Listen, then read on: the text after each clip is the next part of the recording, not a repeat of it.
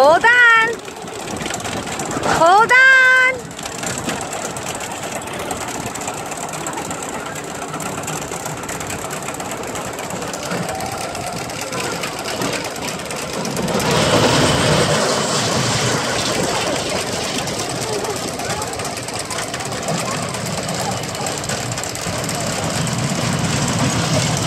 Is she okay?